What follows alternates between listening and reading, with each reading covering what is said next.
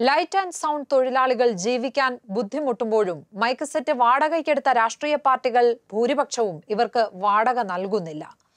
തിരുവനന്തപുരത്ത് പതിനാറ് ദിവസം മുമ്പ് ആത്മഹത്യ ചെയ്ത നിർമ്മൽ ചന്ദ്രന് ഏകദേശം രണ്ട് ലക്ഷം രൂപയാണ് കിട്ടാനുള്ളതെന്ന് ബന്ധുക്കൾ.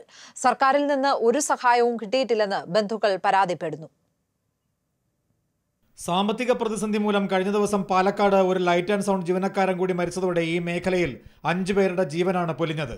ഈ സാഹചര്യത്തിലാണ് തിരുവനന്തപുരത്ത് മരിച്ച നിർമ്മൽ ചന്ദ്രന്റെ വീട്ടിൽ വീണ്ടും ഞങ്ങൾ എത്തുന്നത്. നിർമ്മൽ മരിച്ച് പതിനാറ് ദിവസം കഴിഞ്ഞു. എന്താണ് സംഭവിച്ചതെന്ന് അന്വേഷിച്ച് അധികൃതരാരും ഇവിടെ ഇതുവരെയും എത്തിയിട്ടില്ല. നിർമ്മലിന്റെ മൈക്ക് ഉപയോഗിച്ച നേതാക്കളായവർ പോലും വന്നില്ല. തെരഞ്ഞെടുപ്പിന് മൈക്ക് സെറ്റ് വാടകയ്ക്കെടുത്ത രാഷ്ട്രീയ പാർട്ടികളാകട്ടെ പ്രതിസന്ധി ഘട്ടത്തിലും പണം നൽകാൻ തയ്യാറായിട്ടില്ല. പുള്ളിയാണ് എല്ലാ കാര്യങ്ങളും കൈകാര്യം ചെയ്തത്.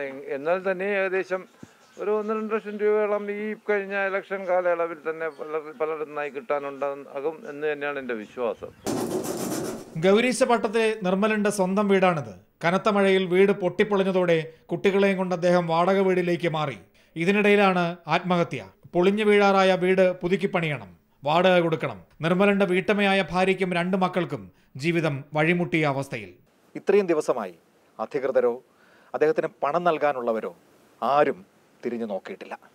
അതുൽ നെല്ലനാടനൊപ്പം തിരുവനന്തപുരത്ത് നിന്ന് എസ്. അജിത് കുമാർ ഏഷ്യാനെറ്റ് ന്യൂസ്.